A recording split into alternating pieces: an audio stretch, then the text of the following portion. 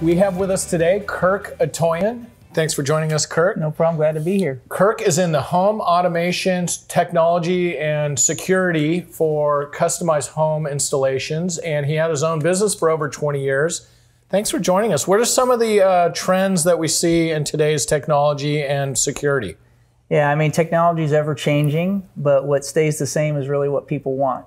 Over the years, I see really it's come down to pretty much four things. So you got network, you got your security and your cameras, entertaining audio, video, TVs in places. Home theaters can be great. Uh, it's a it's a neat place to take your family. So you don't see that trend disappearing anytime soon. No, if anything, I see it more. And then last is automation pieces. Now everything through your iPad or iPhone or or um, your computer, you can control things in your house. But what we're running into is, and what's related to your industry, a realtor so, sells a home the the homeowner moves into this house with all this technology. They don't know how to work it. They don't know what they're going to have to change and what kind of investment they're going to have to make.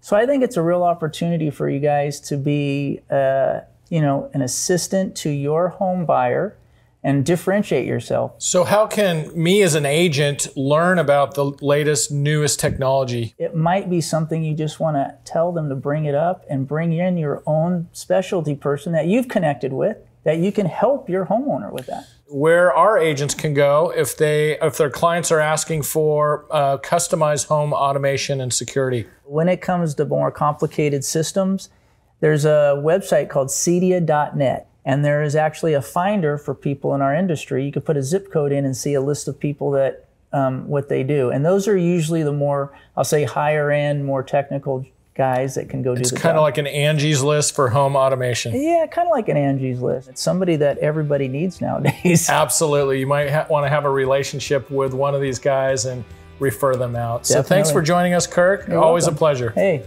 great. Thanks for having me.